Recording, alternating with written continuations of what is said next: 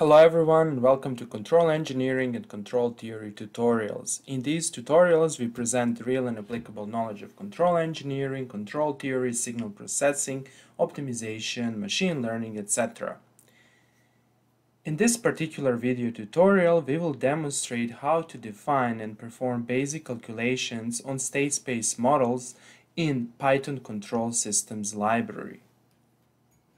This is actually the second tutorial about Python Control Systems library. In my first tutorial, whose link can be found in the description below this video, I introduced the Python Control Systems library. Briefly speaking, this is an amazing library that can be a good alternative to MATLAB Control Systems toolbox. You can perform linear input-output system analysis, nonlinear analysis, linearization. You can add blocks of different systems, connect them together, compute time response, etc.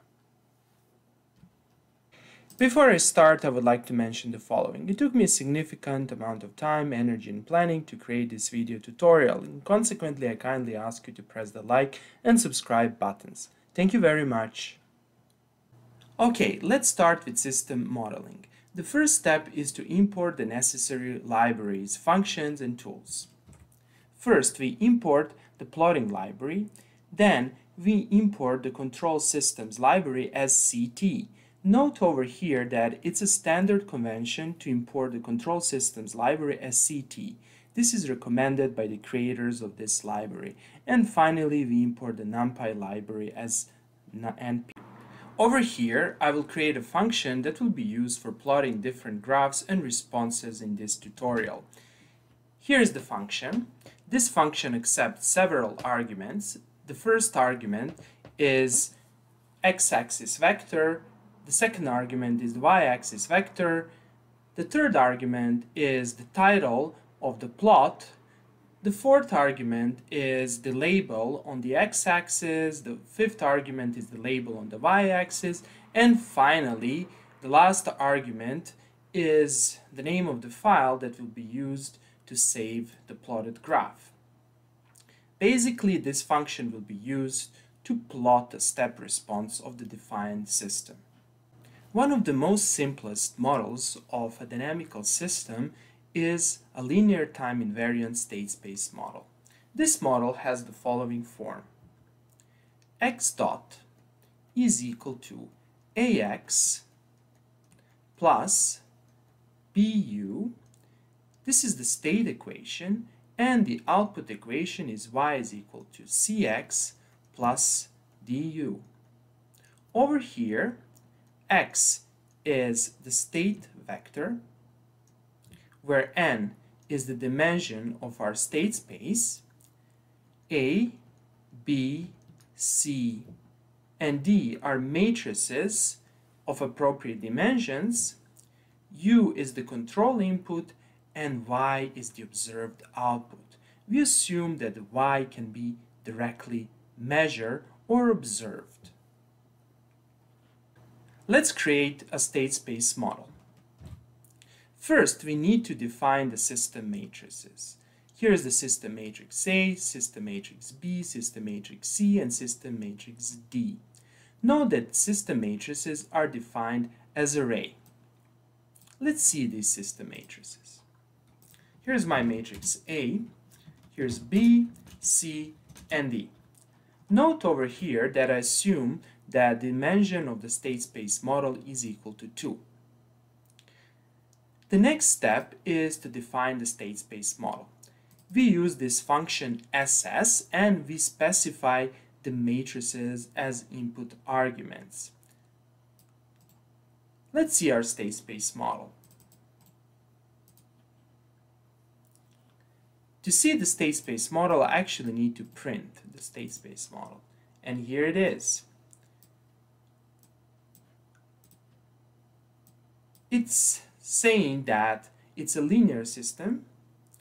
There's one input, there is one output, there are two states, and here are the state space matrices. In my first video tutorial on Control Systems Library, I explained how to define transfer functions. However, we can also convert state space models to transfer functions. We can do that by using this function, ss to tf. As an input argument, we need to provide the name of, the, of our state space model. Let's see the result. Here's the result. This transfer function corresponds to the state space model. We can go other way around, that is, we can convert a transfer function to the state space model. We can do that by calling this function tf to ss. Let's do that. And let's print the converted state space model. So here's the converted state space model. And let's compare this state space model with the original state space model. Let's expand this and let's just compare the A matrices. Aha, uh -huh, we can see something strange over here. We can see that A over here from the model that's being directly converted from the transfer function is different from the A of our original system. We can see that B is different, C is different, and D is equal.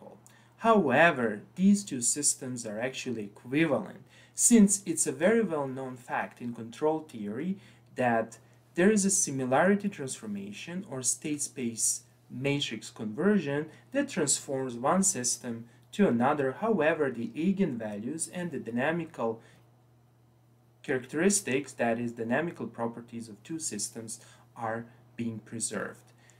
So if we take the original system and we compute the step response of such a system, and if we compute the step response of the system that's being converted from the transfer function, we will observe that these two step responses are actually equal. Next, let's explain how to compute the step response of the system and let's perform some basic calculations. To compute the step response of the system, we first need to define a time vector. The elements of this time vector start at 0 and end at 5 and we have 100 equally spaced entries. To simulate the step response, we use this function. We specify our state space model and we specify the time vector. This function returns the time used for simulation and it also returns the simulated response.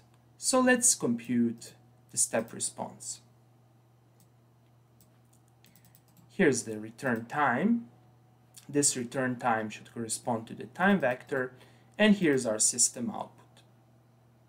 The next step is to plot the computed step response. For that purpose, I'm using this function that's given at the beginning of this video tutorial. Don't worry if you cannot type this function in your Python editor, I will post all the codes used in, used in this video tutorial on my GitHub page. Let's plot the step response. Here it is. It's a beautiful step response. The system is asymptotically stable.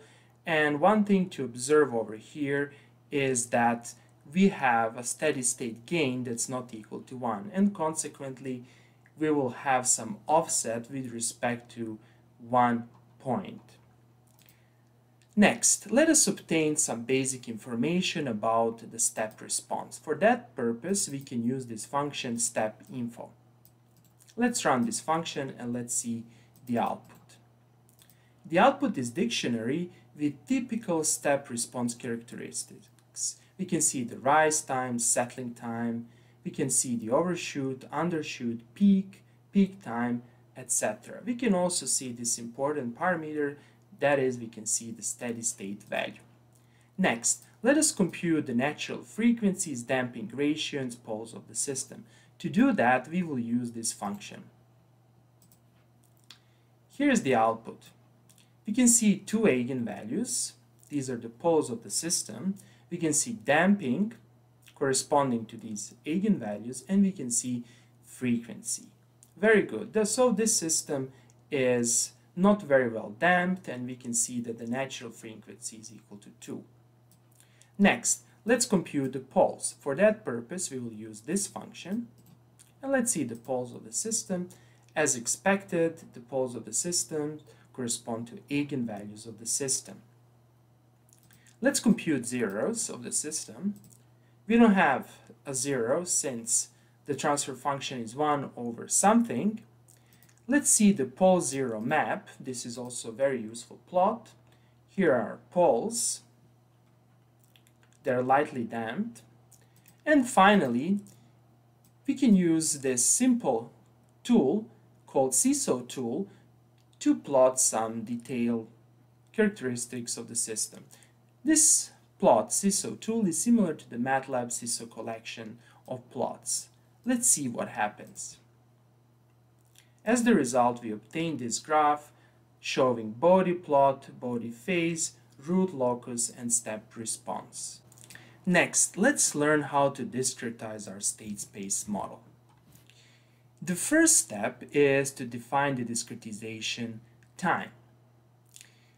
There are two methods for discretization of dynamical systems that are implemented in control systems library. The first method is zero order hold method and the second method is bilinear method.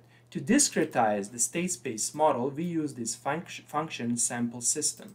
We specify our state space model, we specify the sample time, we specify the method. Let's execute this and let's see the result.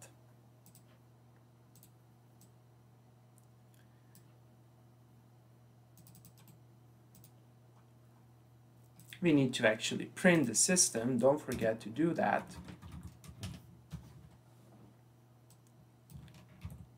And let's see what's happening. Okay, so this is our discrete, discrete time system, and let's compare these matrices with the original system matrices.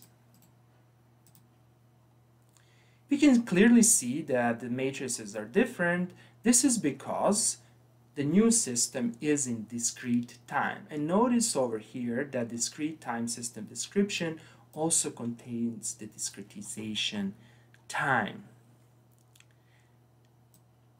Next, let us compute the step response of the discretized system. To do that, we first need to define the time vector. And notice over here that the distance between the time vector points should correspond to the discretization time, otherwise you will get an error. That's why I'm using this part over here, I'm using the floor function to obtain the exact discretization spacing. To compute the step response, we use the function step response, and let's see the result. However, I probably need to execute everything from here. Of course, nothing is being plotted. To plot the result, I'm using my plotting function. And here is the result. Okay, this will be all for today. I hope that you like this video. If you like the videos I create, please press the like and subscribe buttons. Thank you very much and have a nice day.